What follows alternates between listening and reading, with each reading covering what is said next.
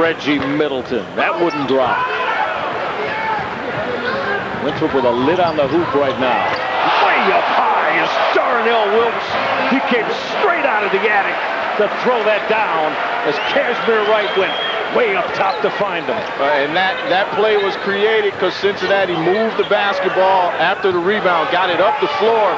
And that's one of those guys you can make a mistake to. You can throw it anywhere near the rim, and he can still get it in the bucket. This crowd on their feet, and they love it at Fifth Third Arena as uh, the Cats defensively are absolutely suffocated right now. Look at the hops of Darnell Wilks. Uh, he, he jumped. He knew it was coming, and he jumped, but Wright put it up where no one else could get it but Wilks. That one was up there by the square.